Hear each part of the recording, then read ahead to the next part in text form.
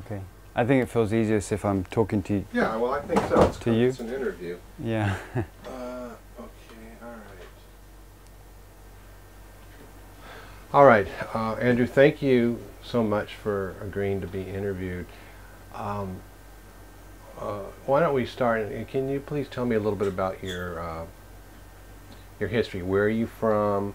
Uh, briefly about your childhood. okay. So I'm from Cornwall in England, and I grew up by the coast, which meant that I've always had a, a great affinity for the sea. I grew up surfing and swimming, and was in the surf lifesaving club, and so I've always loved the ocean. And when I went to university, I uh, decided to take up scuba diving. When was that? That was in, hmm, what was it, 1989, I guess. Okay. Um, so I learned to dive in the north of England in winter, in rivers and quarries. uh-huh. Um, and um, even though on my first dive, I think I maybe saw one fish and Uh-huh. a few leaves and things, I still fell in love with diving. You're wearing a, a dry suit. Uh, no, actually, I couldn't afford a dry suit. I was a poor student, so I had a semi-dry suit, which Uh-huh. was uh, extremely cold. Okay, so uh, that was in approximately '89, and you learned to dive, and then did uh, obviously you moved away from? Did you say Cornwall? hmm Okay, what happened then? Yeah, so after I left university, I went um, traveling around Southeast Asia, and I ended up in Thailand and um, started to uh, do some diving in Thailand. And you know, going from diving in the cold waters of Cornwall to diving on a tropical reef in Thailand, I was completely blown away by the coral and immediately hooked onto tropical diving. Right, and that was in was that in '89 or early '90s? So that must have been in. Shall I just tell them to stop fiddling around over there? Yeah, I think it's kind of distracting. Yeah, I, permisi, permisi. Jangan dibikin klip, klip, klip atau apa, karena ada tanya jawab dan nanti harus mulai lagi ya. Oke, okay, sebentar dulu ya. Kalau typing tidak apa-apa, cu- cuma yang lain. Yeah, okay. I'm I'm easily distracted, so. No, it's it can be one of those things you hear it later, right? And it's annoying. Well, but the interview may turn out very well. Yeah. Okay, so let's let's start over then. Uh, I mean, not not the whole thing, but so you you went to Thailand after university and you fell in love with tropical diving. Yes. And uh, w- when was that? That was uh, remember what year that was? So I guess it was around about 92, 93 um, that I first started diving in Thailand. And very quickly I, I decided to train up as a dive master. Um, and so I worked as a dive guide for a few years in Thailand and ended up managing a shop there, becoming an instructor. And then I started traveling into um, Malaysia, worked in Malaysia for a while as a dive instructor, worked in Indonesia for a while. Mhm. And so that's so I had a general progression from Thailand down to Indonesia. Down to Indonesia. Following the diving, the diving got better and better as I went. Do you find that's true that Indonesia perhaps has the best diving in the world? I think Indonesia has definitely some of the best reef diving in the world. Really incredible di- diversity and huge range of different diving experiences. Uh-huh. Um, all right. So, were you uh, when you started diving in um, Indonesia? Were you you were working as a professional diver? Yeah. Were you on a liveaboard? Um, I first started off, actually when I was working in Malaysia as a dive instructor, I met up with another English dive instructor and we decided to come down to Indonesia together and he was a sailor so he wanted to teach me sailing and I was going to teach him surfing Mm-hmm. and do some diving along the way. Um, so we started working off in, in dive schools but um, we met up with an American chap who just built a, uh, a liveaboard. Uh, it wasn't quite finished and he didn't have anyone to run it so we went into business together and then we started running a liveaboard business, Okay, the three of you. the three of us. And then um, that was what year? Um, Approximately. approximately that was 97, 98. Okay, We started doing that. And where was it out of? Where was your liveaboard uh, liveaboard based from? We were based in Bali, but In we Bali, did okay. in Bali, but we did trips all the way up to South Sulawesi, um, and actually we did a trip as far as East Timor, but we used to do trips out to Komodo all the time, Okay. and I did that. We did that for a couple of years, Uh-huh. and then he decided he wanted to do something else. So we, we split our business, and myself and the other English guy brought our own liveaboard, and Uh-huh. we continued to do these trips for another couple of years. Okay. And when did you start exploring the uh, Raja Ampat area or the South Raja, Southern Raja Ampat area? So we first came up to Raja Ampat in 2002. So uh, I'd just sold my liveaboard, and a buddy of mine had just finished a new one that he just built. So I managed that liveaboard, and we came up here together and started exploring the whole Raja Ampat area. And at that time, there was there was only one resort here, a very small resort in the north, and only one liveaboard that came here occasionally. So it's right in the very beginning. So it was almost total wilderness. Total wilderness, Yeah. completely virgin dive sites. Yeah. and um, I'll get to the island where you founded uh, Misool Eco Resort in a minute, but did there come a time when you started diving this particular area or, uh, where, where we are right now? Uh, Yeah. For example, did you discover that some of these reefs and go, oh my gosh, Mm. that's an incredible reef? Yes, absolutely. So when we when we came out here, a lot of the diving we were doing was exploratory. Um, there was a few dive sites that we'd heard about and got names and positions of, but most of it was just exploring. Like, oh, that looks like a good reef. Uh, l- uh, look at the current. Let's go Yeah. jump in there and check it out. Exactly, that's right. So Magic Mountain was one of those sites. Oh, was that discovered fairly early on? Yeah, that's right. So how did you find that? So we looked on some old nautical charts, and in a roundabout that area, not exactly where it is, there was a marking that said, in 1972, there was a shadow reported by a ship. So it wasn't a confirmed reef or anything. So on a beautiful, calm day, we sailed out into that area, and I climbed right up onto the crow's nest on the top of the mast, and we just drove around and around in circles until eventually we saw it. What uh, Magic Mountain? The Magic Mountain, yeah. Okay. And as soon as I jumped in, there were manta rays there cleaning and knew it was an incredible dive site. so was that one of the first of the famous dive sites that you discovered around here? Was Magic Mountain? yes, probably, yeah. Okay.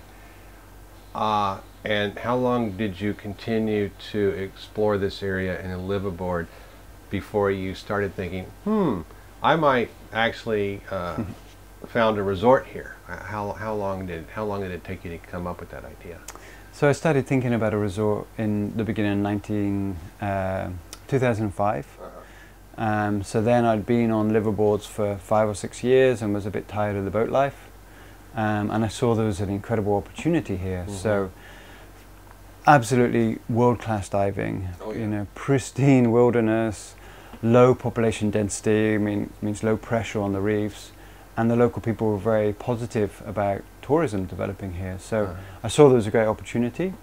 And so from the beginning of 2005, while we were doing the liveaboard trips, I took those opportunities as we were sailing around to look at different places, different locations for the resort. Right. And how do you pronounce the name of the island we're on right now? Misool. No, this island. Oh, Batbitim. Batbitum? Batbitim. Okay, and when did you think, oh, Batbitum is a um, candidate for a resort? How did, how did that come about? Um, so I've always loved Misool, the diving in Misool area more than anywhere else in Raja Ampat. South, south of Misool? Yeah, South Misool, Okay. so the area where we are now. Um, and that's because, to me, it's, I mean, the whole of Raja Ampat has beautiful diving, but in Misool you have incredible sea fans, incredible soft corals, as well as all the hard corals. And that sort of, the soft coral colours for me is just really special. So, I mean, I had my eye on Misool as my favourite place. Mhm. And then I started looking at the different possibilities for a resort location. So needs to be stunning, stunning location, really beautiful. Uh, needs to be protected from storms. Needs to be really close to the best dive sites. That's Like Magic Mountain? like Magic Mountain. Yeah. so that's kind of key. Uh-huh. And so there's a few factors I looked at, and I had a couple of different options, but this one was definitely the best. Uh, had you discovered other dive sites after Magic Mountain before you started working on? Uh, Yeah, lots of dive sites. I mean, we, we're always exploring. So when Whale we Rock?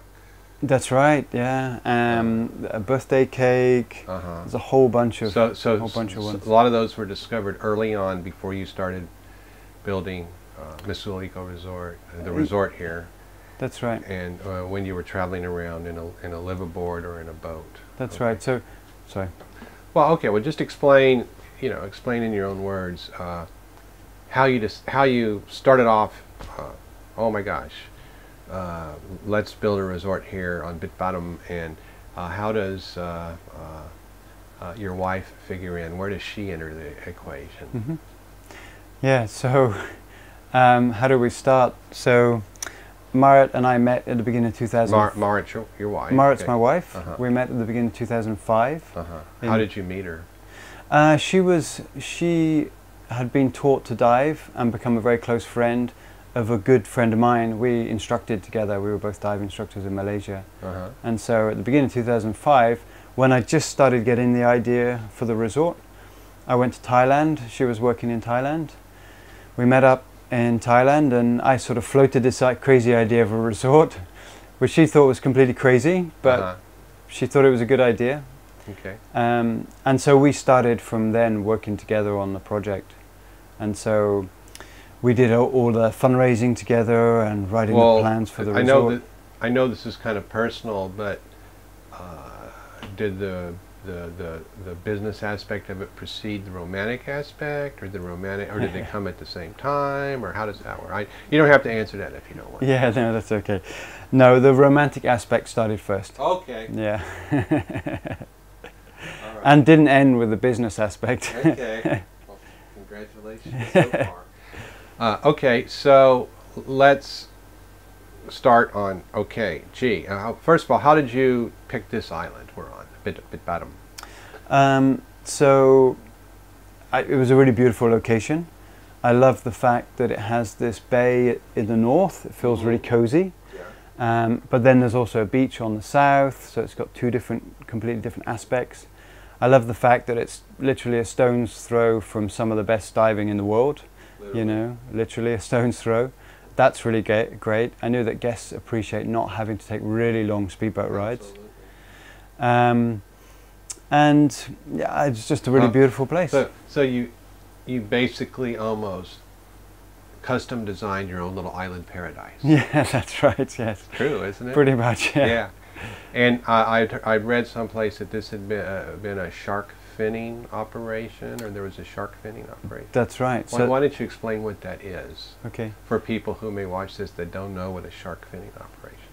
Right. So the first time I ever stepped foot on this island, there was the leftovers from a shark fishing camp, and there were dead baby sharks floating around in the water.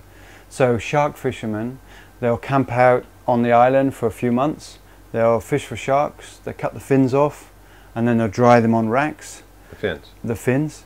Um, and then once they've got lots of them, then they'll take them and sell them to a trader, and they're sold normally to China. What, what, do, what do they do with them, the shark fins? They make shark fin soup. So shark Okay. fin soup is kind of a delicacy in Uh-huh. China. It's more actually a status symbol. So- oh, that you're that you can afford to eat shark fin soup. Yeah, so traditionally shark fin soup was very expensive, Uh-huh. and so only the wealthy could eat it.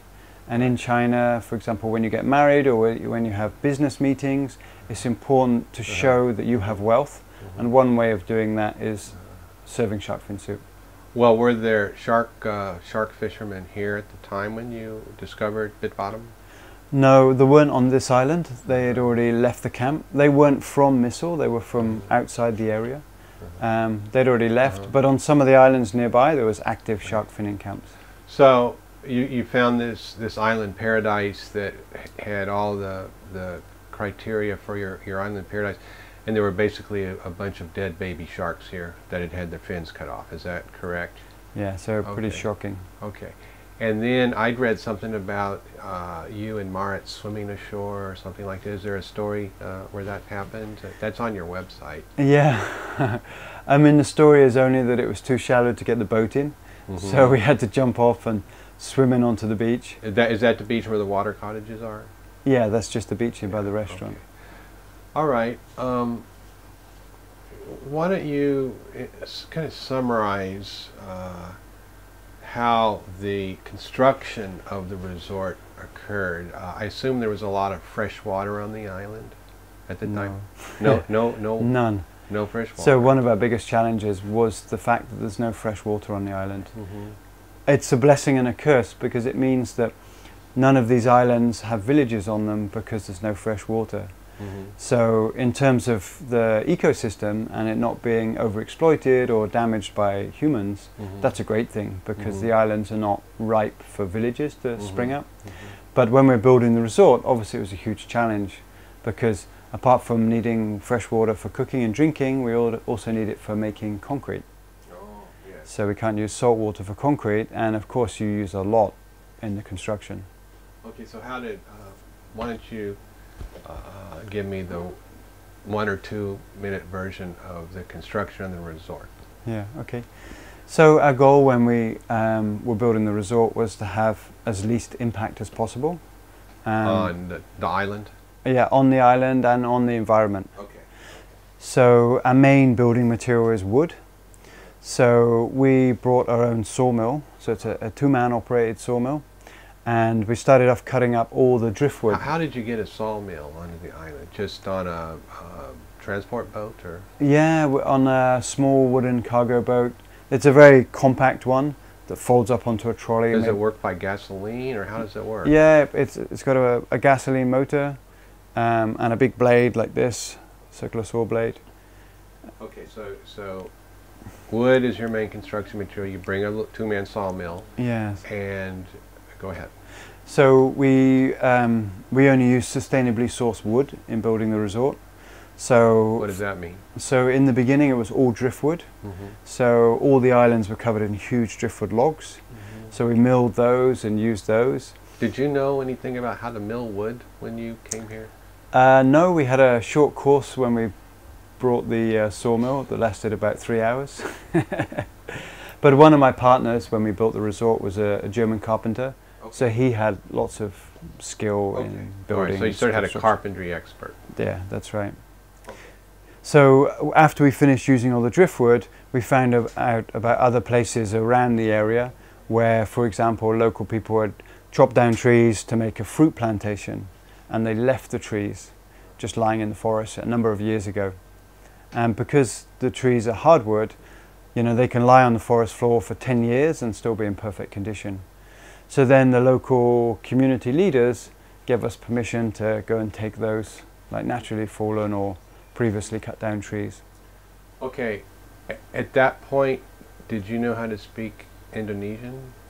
I could speak pretty good Indonesian before I started because of my Mhm. time on the liveaboard. Uh-huh. Um, but how, how many different Indonesian? Uh, do you speak more than one Indonesian dialect now? no, I mainly mainly just Indonesian. Indonesian. A few words of other ones, but Okay, there's more than 300 languages in Indonesia. 300 different languages in Indonesia. Distinct alone. languages. Yeah. Because the uh, human and linguistic diversity is a component of biological diversity. Mm, So. absolutely. Okay, so uh, you you outreach to community leaders and, Mhm. and I assume made friends with some of the leaders and That's said, right. hey, hey, here's what we're trying to do, and they were Yeah. supportive. That's right. Yeah, the Okay. community were very Okay. supportive. Now, did you enlist workers from the local community? hmm absolutely, yeah. So most of our most of our local workers come from directly from the communities around this area, and we did lots of training in carpentry and English language training, so people could work in restaurants and other places. So Uh-huh. Okay. And um, how long did it take to build the resort? It took us two and a half years before we opened. So we opened in October 2008. Um, but really, we weren't finished then. We opened with eight cottages, the water cottages, um, but none of the villas were built. So we've built them as we've gone along. Well, was there an architect that that can that designed the beautiful walkways and the water cottages and and I've I've heard about the elaborate way that the ceiling of the um, Restaurant. uh, restaurant was built. Who who, Yeah. who learned how to do all that stuff? So the restaurant roof is an old European design. It's called a Mandela roof. So uh, the the German carpenter he'd learnt about it in his studies, um, but he never built one, which should have been a warning signal because it was devilishly hard to get up. Right. Um, we didn't use uh, architect for the whole plan, But um, a good friend of mine is an architect, and so we consulted on something, some different aspects. But generally, it was just us sitting around together in the evenings, figuring out how we wanted the place to look, and drawing plans and changing plans and changing them again. And during all these many months, if not years of construction, where were you living? And where were the workers living? Uh, in temporary accommodation on the island, so for a long time, just under a plastic sheet on a raised wooden floor. And then you would have uh, transport boats bring in fresh water and food uh, for everyone. Yeah, that's right. I mean, a lot of the fresh water we got from a nearby island, about 20 minutes away, um, and there's a hand dug well back at the, you know, back through the forest. And we would then go there with a small dinghy and fill up 200 litre drums, bring them back and use those. But the food was brought in by a small cargo boat every now and again. Okay. And did you um, did you acquire investors in the resort? Yeah, that's how, right. How did you how did you find them? I don't want to go into too many business details, but I'm just Yeah. curious as to if someone else wants to build an island paradise, how might you advise them to do it? Yeah, how would I advise them or how did I do it? well, why don't you tell us how you did it because it worked. Yeah.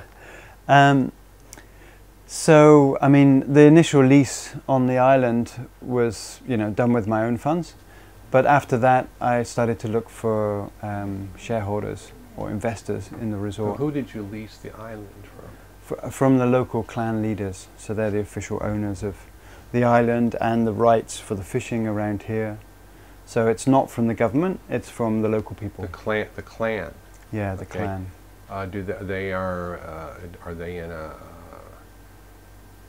do they have their own nation? Are they a tribe? Are they a clan? How, what, do you, what, what is a clan in uh, uh, South Raja Ampat, Indonesia? It's a, it's a very large extended family group that have the traditional rights to the area. Uh-huh. So it's, it's not really a tribe, you know, so in, in terms of one village could have four or five really big families and then not so small families. So it's a, it's a big family group. Um, excellent. Well, let's take a, a brief break. Okay. So I'm going to check my batteries. Yep. Okay, hold on just a sec. Okay, so at some point you um, got the resort up and running, and it, it, it, it, its its business purpose was to provide some of the best scuba diving in the world to clientele. Is Mhm. that correct? Uh, yeah, there's, so there's two things really for the, for the purpose of the resort. One is to do exactly that, to give the best quality diving in the best diving in the world to our guests. But also, the vision of the resort is to provide a funding tool for the conservation that we're doing here. So the original concept between myself and Marit was actually not to build, you know, such a nice resort. The original concept was to build uh, a conservation centre with a little bit of accommodation to support the the sort of research work. But actually, what we found is that in reality, the operational costs, the logistical costs, are so high that you need a big, you know, I mean, we're not a big resort, but you need quite a high-end resort to be able to support that that work. Okay, so the the original idea was not to make money on a scuba diving operation. The original idea was to do research and uh, promote conservation, and also to have a uh, you know customers to come and enjoy. hmm Well, personally, I can say it's some of the best, if not the best, scuba diving in the world.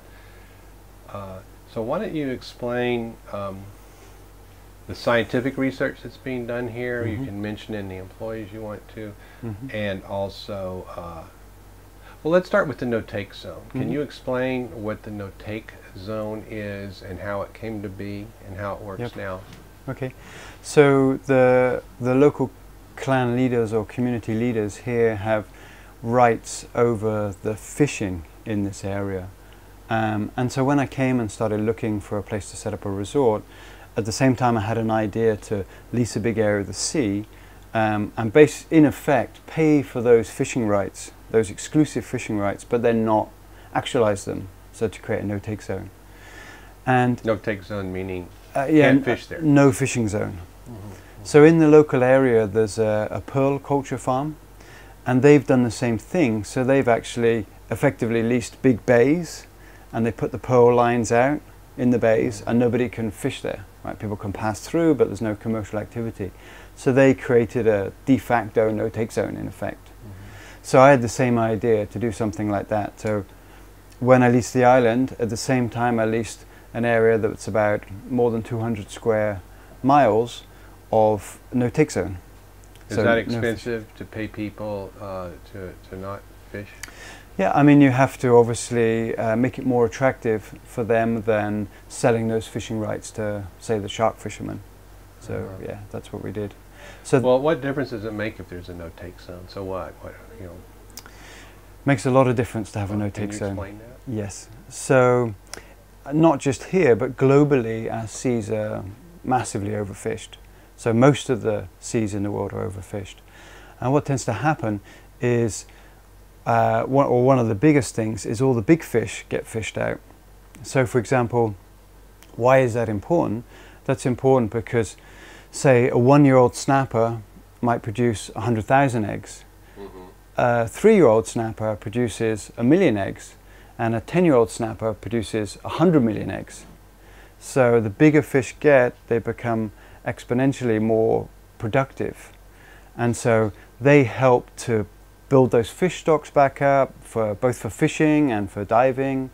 So creating no take zones where fish can get big, they can reproduce, they can produce lots of young, makes the area really special for diving. But also those young fish and those eggs wash out with currents into the fishing grounds outside, and they make the fishing grounds better. So They, they become food for various. no, they grow up outside into large fish which get Uh-huh. caught by the fishermen. So the, the science behind it says that for any fishing ground, about 25% should be no, completely no take zone, so no fishing. And then what happens is in the 75% that's left to fish, the fishermen catch more than they would if they catch, if they fish the whole area. So, is what you're saying is that the no-take zone Mm. is almost, almost like a little experiment in what could become sustainable fishery for, for the planet? Absolutely, yeah. Yeah. There's there's now a big movement globally um, for people to or governments to create no-take zones. And So- there's been research on this?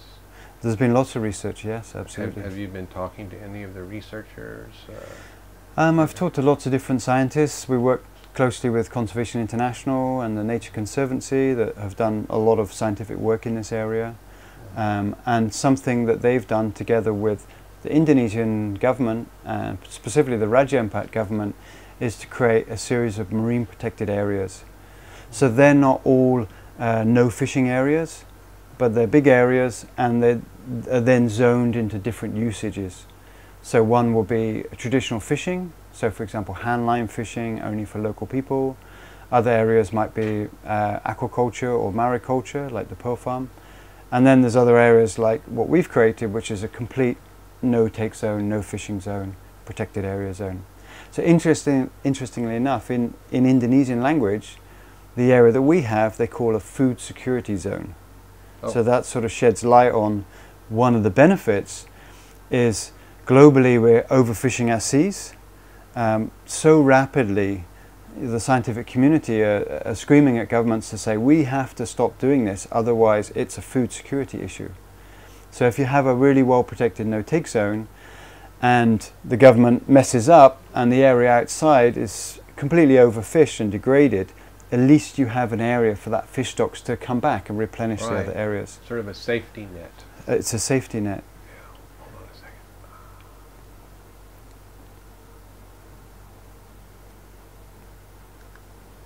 Um, That's pretty interesting. Yeah, I just want to add something because Yeah. you mentioned the through flow. Yes. So Well, well, hold on a second. okay. Got another question about that. Well, no, no, no, because that was in a separate conversation, and Okay. so the people that are hearing this, uh, uh, why don't you explain what the through the the Indonesian Through- flow is to anybody that will be watching this on the internet? Okay, so as the Earth spins, the Pacific gets pushed up against the Philippine the Philippines and uh, Papua New Guinea. So it's actually about a foot higher than it is on the American side. Right? Oh, so uh, that would be the Pacific Ocean's like a foot higher than the Indian Ocean? No, the, the, the Pacific Ocean uh, against the Philippines Uh-huh. is a foot higher than the Pacific Ocean Okay. against the, the US. Okay, so it, it, it's actually higher over there on, in the uh, western Pacific. Yeah, Okay. a- and that's because the Earth's spinning Right. and the, the water on top of the Earth moves slightly slower than the Earth, and so it slightly gets pushed up. Okay. Okay, it's, all o- right. it's so only you got higher water over there in the western Pacific. Yeah, that's right. And so what that means is you've got this incredible amount of water that's pushing to get through between the Philippines and Papua New Guinea, and so it forces through this through flow, which is called the Uh-huh. Indonesian through flow, of water through Raja Ampat, and then it goes across and it hits Sulawesi, and Sulawesi almost joins underwater with the Philippines in a ridge, and then it forces that water down and it goes down through Indonesia and out through the straits in Komodo and Bali and Lombok. Into the Indian? Yeah, that's right, into the Indian Ocean. And so the important thing for Raja Ampat, Raja Ampat is so rich and so diverse, and you have this constant current of water pushing through Raja Ampat and carrying that coral larvae and fish larvae through to other places in Indonesia. So they actually think the Raja Ampat could be very important for other reefs in Indonesia that have been damaged in order to repopulate them. So it's incredibly important. So just to kind of recap, you have the, the the Western Pacific. I assume it's also higher than the Indian Ocean because it's almost flowing downhill Correct. through Indonesia, Mm. washing all those nutrients, and I assume also the upwellings from the Pacific and all that organic material and fish eggs and Mm. coral kind of flows and bathes Indonesia and including Raja Ampat, and that's the Indonesian through flow is one of the reasons why this area is so incredibly That's right. biodiverse. That's Okay. right.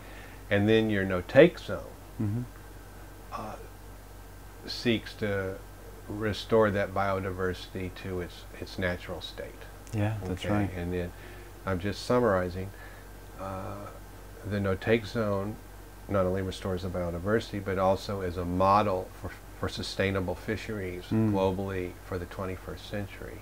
That's right. Okay, so how uh, you have this no-take zone that's 200 square miles that you've leased from the um, the clan. hmm Okay, how do you enforce it?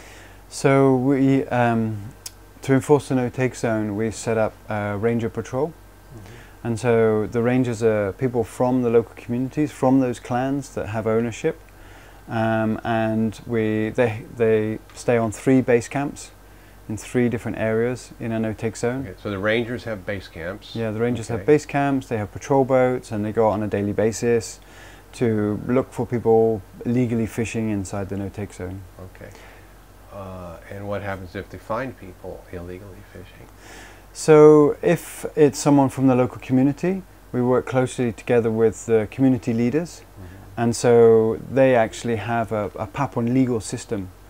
So then um, the community leaders will call in the person that was fishing, call in the rangers, hold a court session in the community, um, and then they can put out fines themselves. So, depending on the situation, that could be a, a financial fine, it could be community service. But aside from that, we, for more serious infringements, we work together with the Marine Police. Well, who are the Marine Police? So Marine Police is like the like normal police, but uh, for the ocean. Well, do they work for a certain clan or government or? Uh, No, so the, the Marine Police are an official government organization, just like regular police. What um, government are you talking about? Indonesian government. Indon- okay, the yes. Marine Police are the Yeah. uh, Marine Police of the Indonesian government. So you work with them, That's right. cooperate with them. That's right. So we have two or three Marine Police on our patrol all the time. So that means that if we get uh, big boats from fishing, coming from outside, fishing in an area, we can actually arrest them and take them to back to the capital of Raja Ampat for processing and put them through the And, court and I assume the Marine Police, do they have uh, weapons of some sort? yeah, the Marine Police are armed. So, so they can arrest hmm a commercial fishing boat. Yep, that's right. Now, have you uh, recently have you caught anybody illegally fishing? That's right, yeah. So a few days ago they caught uh, a boat fishing for sharks and rays. Uh-huh. So they were fishing with a gill net um, that was about two or three miles long, the the net. the net. And so they come down into uh, the furthest reaches of a no-take zone, um, drop the net down, and they dropped the net down at night. And so they were fishing at night. Anyway, the patrol came out and caught them, and then uh, first thing in the morning, pulled up all the nets and took them to arrested them. Now I've heard that if you're sh- uh, hunting for sharks and rays, the Mhm. penalty can be somewhat severe. That's right. So um, back in 2010, uh, we spearheaded an initiative to lobby the Raja Ampat government to create a shark and manta ray sanctuary. So together with a, a US organization called Shark Savers, we started a petition. We got close to 10,000 signatures. Uh, we got letters from uh, the government of Palau, of the Maldives, um, of Guam, and we took that to the regent, the head of Raja Ampat. I made a, I made a series of presentations, and actually the basis for my presentation was that the economic benefits for the local people and for the government of protecting manta rays and sharks vastly outweighs the economic benefit for fishing for them. So I tried to make them th- look at um, this charismatic megafauna as a as an asset for the area. And so after that, they created um, the Raja Ampat Shark and Manta Ray Sanctuary. Charismatic megafauna being a very uh, large, kind of attractive, sexy animal to look at That's that right. draws in tourists, Yeah, like a manta ray yeah, exactly. or a beautiful shark. So there's there's been a whole bunch of scientific studies and surveys about what divers want to see and how much money divers bring into the economy. So, for example, in the Maldives, there was a government survey where they looked only at shark diving sites. Mm-hmm. And they counted the number of sharks, they counted the number of dollars that came in, and they worked out that every single grey reef shark was worth 33,500 US dollars per year to the economy Per, per shark. per shark per year.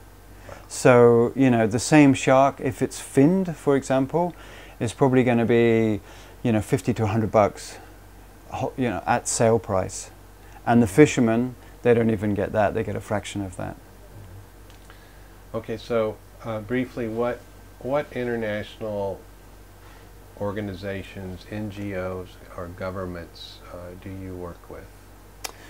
So we, really have a collaborative approach to what we do. So we work closely with Conservation International um, and the Nature Conservancy that both have do a lot of work in in Raja Ampat and in Indonesia. But we also work with um, other organizations like WildAid. WildAid is a US-based organization. They do a lot of work on enforcement and also reducing the consumers. So uh, media work in China to reduce the number of people that eat shark fin soup. So, our first patrol boat was a joint collaboration between WildAid and the resort to fund Mhm. that first patrol boat. Okay. Uh, briefly, uh, I uh, attended Calvin's lecture on the manta rays. Mhm. Absolutely fascinating. Mm. What scientific research are you doing here, along with your uh, sustainability models and your uh, uh, conservation initiatives? What what research are you doing? Okay. Uh, so one of our main projects that we're doing in this area is the Misool Manta project. So that's a project that focuses on mainly on one of our key cleaning sites, which is Magic Mountain. The That- famous magic. The Mountain, famous Magic first. Mountain. That's where manta rays, both oceanic and reef manta rays, come in to be cleaned by small fish. Um, so there we do, uh, we set up a database for IDing the manta rays. So by the, the markings on their belly and on their back, you can, uh, it's like a fingerprint. So every single individual is different, so you can ID them. So we're creating a database. Um, and we're also doing satellite and radio tagging.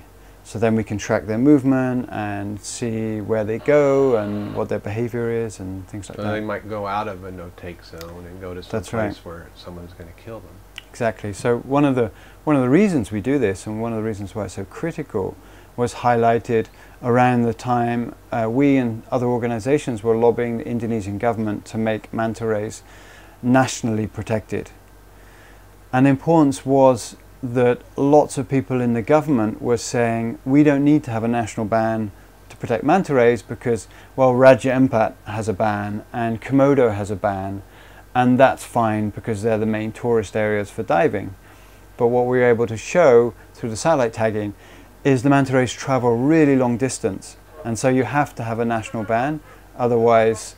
Um, you know, the population in Raja Ampat get killed as soon as they swim outside. Yeah, okay, we can take a break here. I know, I'll just turn this off. Yeah, 'cause, uh, yeah, take your time. yeah, because we can edit. Uh, well, this has been uh, this is uh, going well, and I don't want to take. I got to refocus here. Once you get comfortable, Oh, sorry, and what I'm going to ask you n- now is, and you can think about it, is w- what would you like to say, uh, even though I haven't asked you about it? Right. Um, uh, assuming somebody watches this, and I do a Yeah. good job editing, I think they will. Yeah. Um, uh, Andrew, uh, well, I assume, before we, I asked you my, my last question, I assume it, it, it provides a lot of satisfaction to give other human beings the incredible experience of Mm. diving here. I mean, that, that's got to be a great Yeah. feeling. Yes, and, sure. and you have a fantastic staff. Yeah. Um, but is there is there something else that you can think of? You don't have to think of anything. Is something else Yeah. that, that you would like to say uh, Sure. in this in this interview? Okay, so uh, one of the things I should mention is that um, in 2010 we expanded our no-take zone. So the, the original no-take zone was 400 plus square kilometers. We then created a new one um, a bit further out in some islands called Daram. That's another 400 plus square kilometers. And then there's a connecting corridor that has very, very limited uh, fishing equipment allowed in that area or fishing techniques. And so in effect nobody fishes there. And that whole area now is 1,220 square kilometers of protected area that's patrolled on a daily basis by the rangers. So it's a, it's a really significant area. It's about the same size as the five boroughs of New York or something like that. That's one thing I wanted to say. Um, I guess the other thing is, um, you know, our great hope with the resort is to create a sustainable financing model for conservation that is um, both, you know, gives our guests an incredible experience, you know, incredible high quality diving experience, um, but generates enough revenue to fund all the conservation that we're doing, so running the patrol and things like that. Because I think then it's a very powerful model to be replicated in other areas. I mean, imagine if every single dive resort in the world, even if they had one or two miles of reef in front of the resort protected and patrolled, then what we'd have is hundreds of thousands of miles of reef actively protected on a day-to-day basis, which would be an incredible way for us to protect the reefs. Okay, so uh, we're, we've been talking about sustainable fisheries globally. That Mm. you're working on a model for Yeah. sustainable fisheries, and what you're also now talking about is, I guess, recreational diving Mhm. being operated uh, in a way that promotes sustainable biological diversity. Yes. And it beca- becomes a global practice where if you're not doing that, it's kind of like Mm. not cool. Yes, exactly. Okay. Yeah. And is that true? Sometimes some of the dive operations just are operating in places where people fish. And, and Absolutely. I mean, it's uh, to me, it's always seemed incredible how. I mean, I only know of, you know, I could probably count them on one hand, other operations I know that have no take zones. Out of all the different operations all around the world that I know, so to me, it's always seemed incredible how, you know, business owners don't see the reefs as their greatest business asset. I mean, it's very clear to me, even if I didn't care about conservation at all, or wasn't motivated by protecting the reefs, I would be motivated because that's what brings people here, you know. And what we've seen here since we've been protecting the area with our patrol is the, the biomass of fish has increased dramatically. So in 2006, there was a study by a Conservation International scientist, and he went all over Raja Ampat looking at the fish biomass in different areas, and he studied some sites here inside our no-take zone. And we invited him back in 2013. He did the same study, and the fish biomass right in front of the resort had increased by 350%. So really Wow. staggering. So that's our asset. You know, that's so it's not just a theory. it's not just a theory. Yeah, it's been empirically empirically tested. proven. Yeah. Awesome. Uh, anything else you want to say? That's it, I think. Well, I'll say on the, on the film, thank you so much for your time, and uh, that'll be it. Great. Okay, Thank you so much. Well, I really appreciate that.